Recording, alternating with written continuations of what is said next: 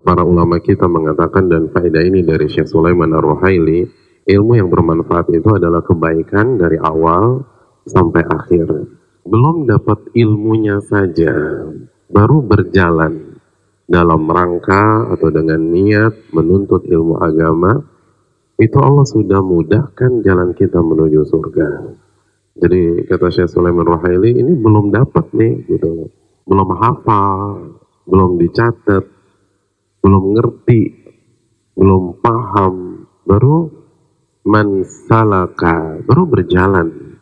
Tentu baru berjalan dari rumah atau lagi nunggu angkot, nunggu busway atau lagi bawa motor dalam rangka menuntut ilmu agama itu hadis ini sudah berlaku untuk antum. Sahalallahu lahu bihi tarifan ilal jannah.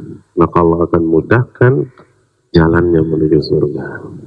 Jadi barang siapa yang ingin masuk ke dalam surga, dia harus belajar, belajar, belajar, dan belajar.